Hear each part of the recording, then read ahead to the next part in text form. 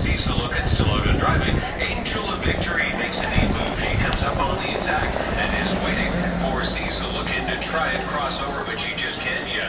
SOS River Trail, she tips out.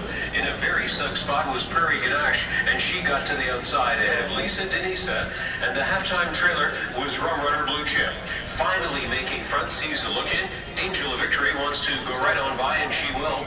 58 at the half. Angel of Victory. Now takes over onto the backstretch and outside and driving. Here comes SOS River Trail up on the move. Cecil looking heavily tested. Barbara D locked back on the inside, and Prairie Ganache up on the move into the front five. All too real found enough of a scene to come up sixth. Rum Pushed three high from seventh, and then it's two more lengths back to Lisa Denisa. On the final turn, Angel of Victory, SOS River Trail. These two off in a bit of a top end match race, and Prairie Ganache has moved up into third at the top of the stretch in 127.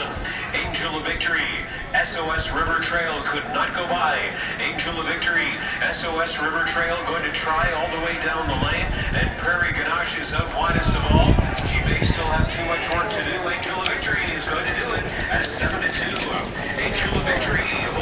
That's the West River Trail.